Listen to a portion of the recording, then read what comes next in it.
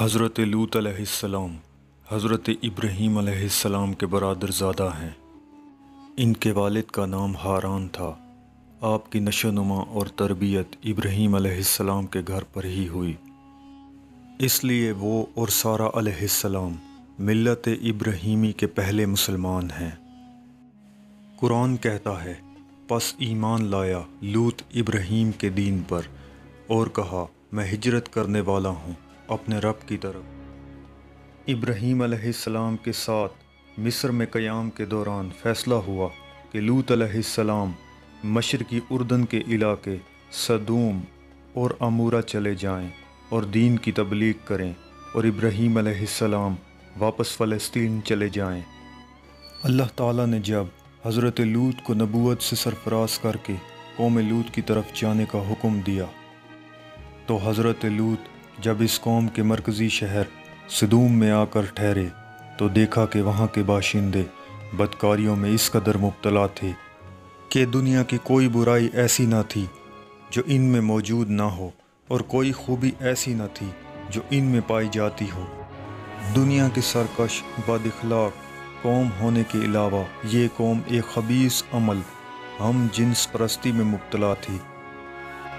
हज़रत लूत अलैहिस्सलाम जब इस कौम में पहुँचे तो आपने देखा कि वो कौम हम जिन्स परस्ती जैसे काबिल नफ़रत फ़ेल में मुबतला थी, जिसकी बदौलत इस कौम ने शहरत दुआम हासिल कर रखी थी और इसके irतकब से बदकार इंसान कभी बाज नहीं आए।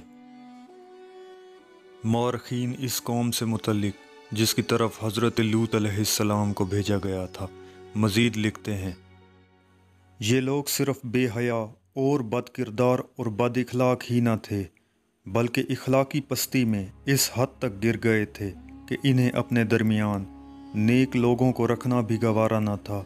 वो बदी में यहाँ तक गर्क हो चुके थे कि अच्छे और पाकिज़ा लोगों को अपने अंदर रखना भी पसंद नहीं करते थे। इसी बिना पर जिस कौम की इज्तमाही ज़िंदगी में पाकिजगी का ज़रा सा भी अंसर ना रहे, फिर इसे ज़मीन पर ज़िंदा रखने की कोई वजह नहीं रहती। चुनाचे इस कौम में दाखिल होने के बाद हज़रत लूत ने देखा कि इस कौम के पाँच बड़े बड़े शहर थे। आपने इनके मरकज़ी शहर सदूम में क़याम फरमाया। और इनके हालात का जायज़ा लेने के बाद इस कौम को मुखातिब करके फरमाया, क्या तुम ऐसा फहाश काम करते हो जो तुमसे पहले सारे जहाँ में किसी ने नहीं किया? आपने तरह तरह से इन्हें समझाया कि ये बदकारी जिसमें तुम मुबतला हो इससे पहले सारे जहाँ में किसी ने नहीं की। और पहले किसी बुरे से बुरे इंसान का जहन इस तरफ़ नहीं गया था। चुनाचे इन लोगों ने हज़रत लूत अलैहिस्सलाम को कहा, लूत, बस नसीहतें और इबरतें ख़त्म कर। अगर हमारे इन अमाल से तेरा खुदा नाराज़ है तो वो अजाब ला कर दिखा, जिसका ज़िक्र करके तू बार बार हमको डराता है। और अगर तू अपने कौल में सच्चा है तो हमारा और तुम्हारा फ़ैसला अब हो जाना ज़रूरी है। हज़रत लूत अलैहिस्सलाम ने फिर एक मरतबा भरी महफिल में इनको नसीहत की और फरमाया कि तुमको इतना भी एहसास नहीं कि जिस बेहयाई में तुम मुबतला हो कि यह किस कदर भयानक काम है। इसके अलावा लूट मार और इस किस्म की बद इखलाकियाँ और बुरे आमाल तुम्हारे अंदर समा गए हैं।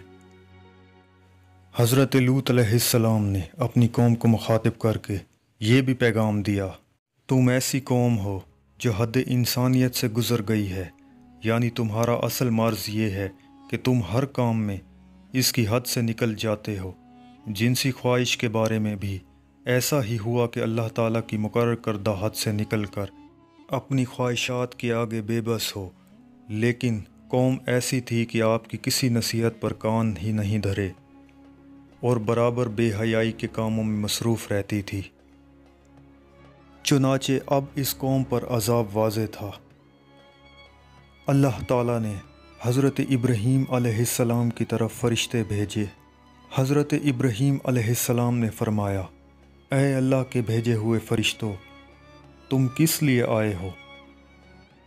उन्होंने कहा, हम मुजरिम कौम की तरफ़ भेजे गए हैं, ताकि हम उन पर पत्थरों की बारिश करें।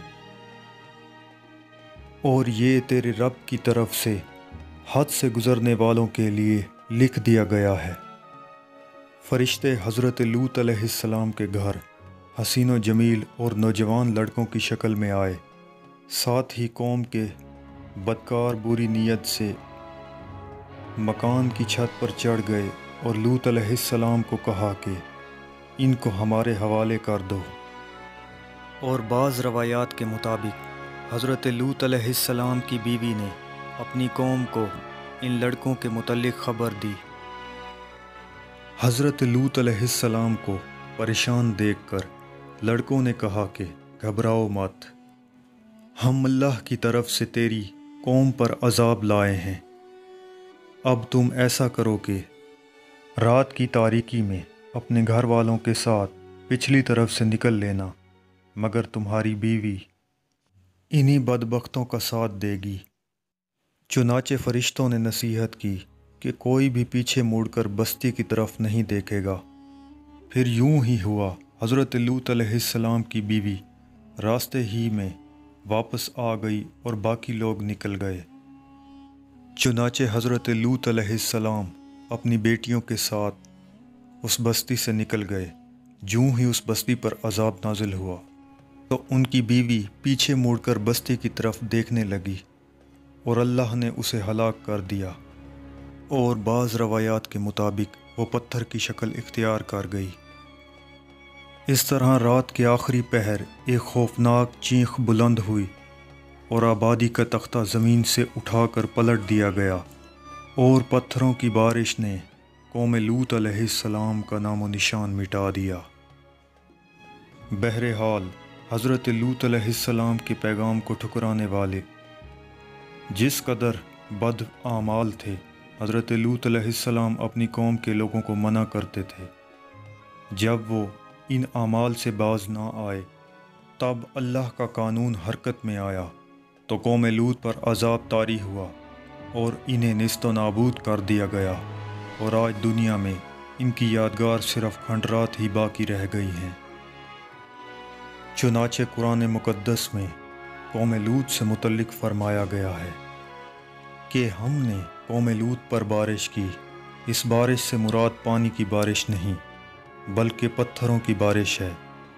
कुरान मजीद में दूसरे मकाम पर इस अजाब की तफसील बयान हुई है।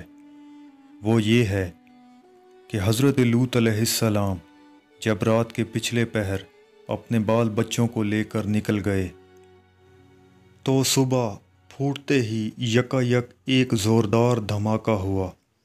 एक होलनाक जलजले ने इनकी बस्तियों को लपेट में ले लिया और इन पर मट्टी के पत्थर बरसाए गए और एक तूफ़ानी हवा से भी इन पर पथराव किया गया।